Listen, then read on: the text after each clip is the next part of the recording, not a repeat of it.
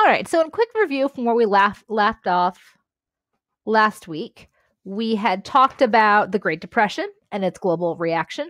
We talked about new technology, film, photography, radio, uh, electricity, and how it's still quite expensive.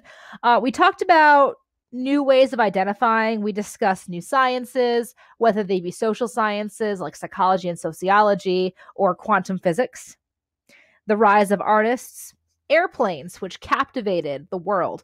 And we then discussed the movements for Indian independence, Mahatma Gandhi, as well as the partition of Pakistan away from India, which is where this, as you see on this map, as well as the area of Kashmir, which is still disputed. And now we're going to change gears and begin talking about Mexico, Argentina, and Brazil. And our years of focus will be 1917 to 1949. we'll begin with the Cardenas reforms. The Mexican Revolution that began in 1910 ended a dictatorship in Mexico and established a constitutional republic. A number of groups, led by revolutionaries including Francisco Madero, Pascual Orozco, Pancho Villa, and Emiliano Zapata, participated in the long and costly conflict.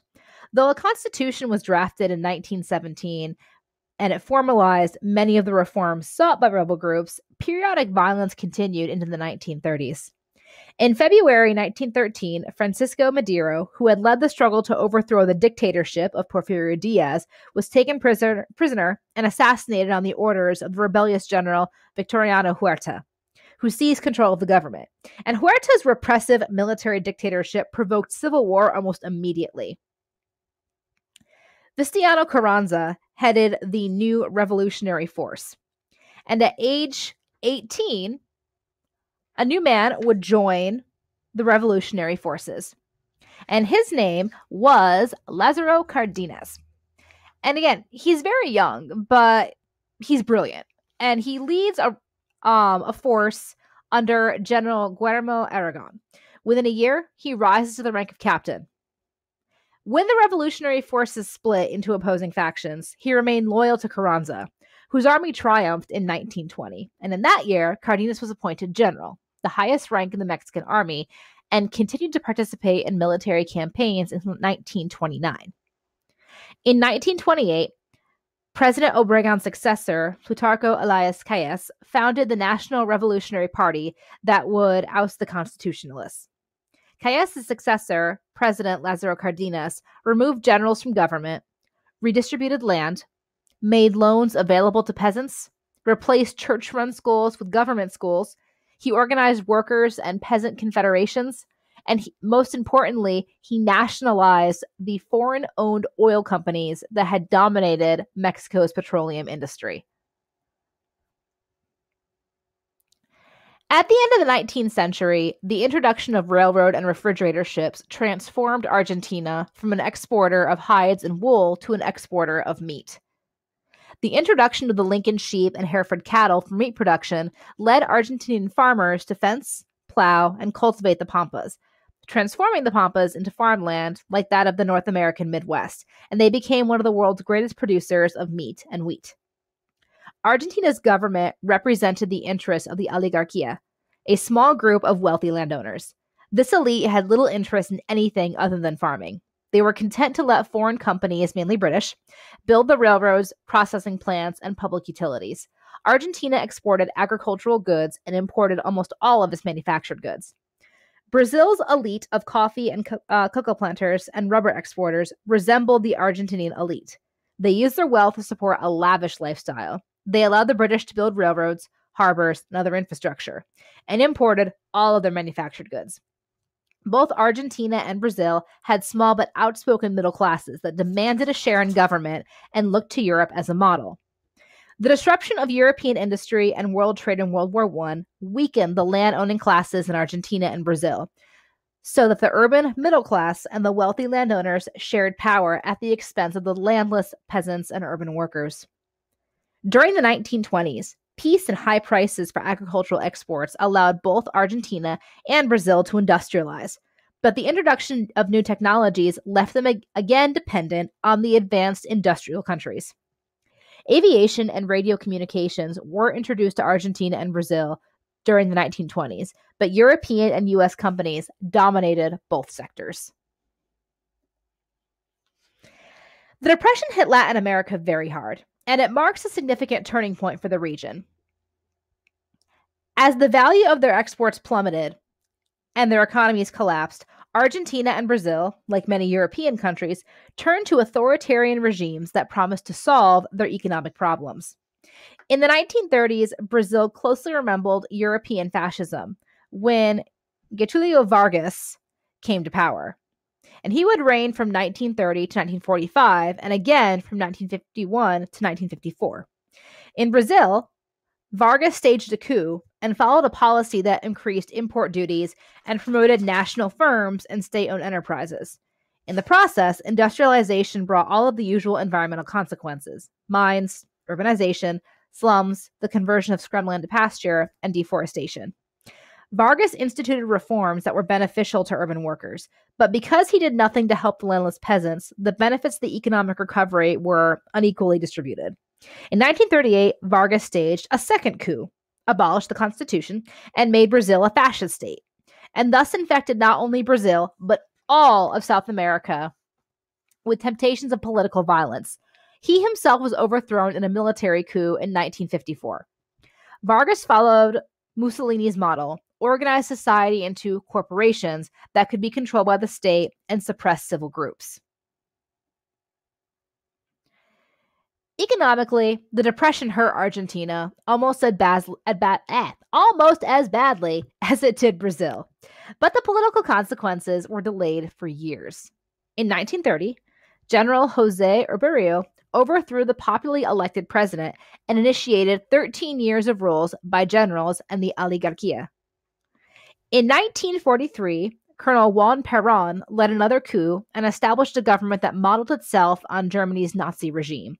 As World War II turned against the Nazis, Perón and his very famous wife, Eva, appealed to urban workers to create a new base of support that allowed Perón to win the presidency in 1946 and to establish a populist dictatorship.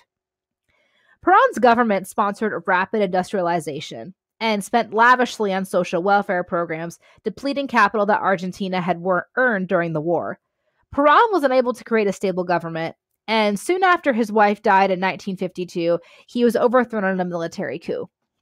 And part of the reason why I have a picture, that little tiny one of Juan Perón and the larger one of Eva, um, Eva was affectionately called Evita.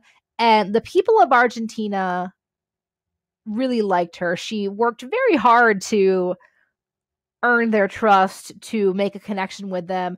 And a lot of historians argue and using the fact that after she dies of cancer in 1952 as proof, he was overthrown in a military coup. And a lot of historians believe that she was actually the real voice of power um, through her husband Juan.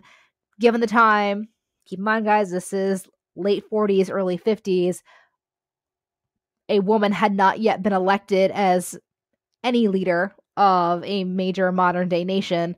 So there's the argument you can make for that. She wouldn't be the first either. Um, Woodrow Wilson, massive stroke. Um, his cabinet did not know about it for weeks because his wife kept him in their private area of the White House. Um, took messages to him, came back with an answer. Only weeks later, it's learned Wilson can't actually speak because of the stroke. So, just throwing that out there. Anyway, moving right along. All right. So we're changing gears again, which is always fun for everybody involved. And we're going to move on to colonial Africa, economic and social changes. And we only have a few slides to go, and then we're going to stop it for today. In Africa and Southeast Asia, during the 1930s, Western educated leaders began to challenge colonial authority. Outside Algeria, Kenya, and South Africa, few Europeans lived in Africa. However, the very small European presence dominated the African economy and developed Africa as an exporter of raw materials that brought benefit to Europeans, but to very few Africans. Africans were forced to work in European owned mines and plantations under harsh conditions for little or no pay. Colonialism provided little modern health care, and many colonial policies worsened public health, undermined the African family, and gave rise, rise to large cities in which Africans experienced racial discrimination. Colonial authorities had always used indigenous allies to help them administer the colonies. The gap between aspiration and reality was particularly vast in the French colonies. Western educated Africans and Asians particularly resented the fact that colonial administrators relied on indigenous authorities to administer the, co- the colony. For the European powers, indirect rule was a way of preventing nationalist movements. This did not always work, an example being the uprisings that would occur in Africa and later on in Southeast Asia. Especially in Africa, the Igbo Women's War in the 1930s, as well as the Nigerian nationalist Nnamdi Azikiwe, protested this policy as preventing the unification of Nigerians. Anti colonial feelings were highest where Europeans had settled, and the Great Depression caused widespread economic disruption in Africa and in Southeast Asia. During the colonial period, many Africans turned toward Christianity. Missionaries introduced Christianity, except in Ethiopia, where it was indigenous. Islam spread through the influence and examples of African traders. The contrast between the liberal ideas imparted by Western educators and the realities of racial discrimination under colonial rule contributed to the rise of nationalism. Early nationalist leaders and movements such as Blaise Diagne in Senegal, the African National Congress in South Africa, and Pan Africanists like W.E.B. Du Bois and Marcus Garvey from America had little influence until after World War II, when Africans who had served in the Allied War effort came back with new and radical ideas. Radio broadcasts in Indigenous languages were largely confined to British West Africa in the interwar years, with most African radio content aimed instead at European colonial populations.